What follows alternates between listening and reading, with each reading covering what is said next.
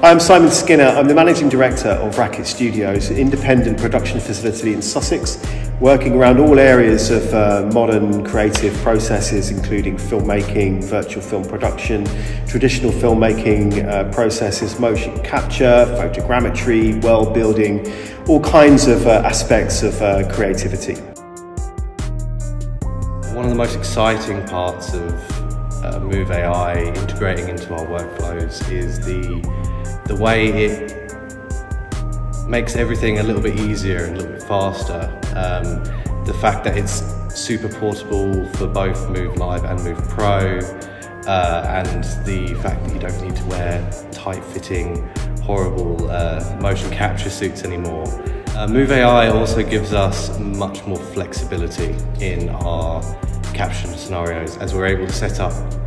almost anywhere we just bring uh, cameras and tripods with us and then we can set up and get capturing in pretty much no time at all. That allows us to capture some really interesting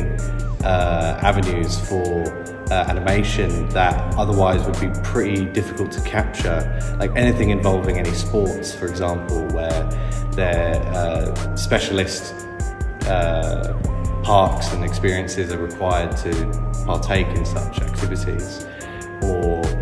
uh, being able to capture a music artist as they come through in a very short amount of time to uh, get it ready for different productions virtually for their virtual shows.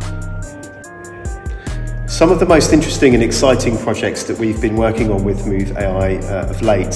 have, um, have, sort of been quite broad and varied in their nature. Um, we, we worked um, with the Move AI guys and Sony Immersive Studios to produce the recent uh, Fortnite live concert with the artist Myles Smith.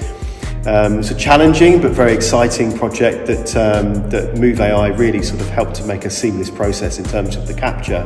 Our challenge then was to work with Sony Immersive Studios to deliver, clean up the assets, take the data that was captured and provide that as a usable, usable platform for the, uh, the Fortnite playable concert, which is something really exciting and different for us as a team. This led on to another installation, a live installation at the Outernet in London, which was a larger scale um, application of the same technology, but was hugely fascinating and um, incredibly uh, impressive due to the nature of the, uh, the environment, but also the the um, the reaction I think of some of the people that were in attendance was really uh, was really interesting. Watching uh, a, a, large group of people witness this uh, technology for the first time uh, was was great, and it's been great to be a part of that.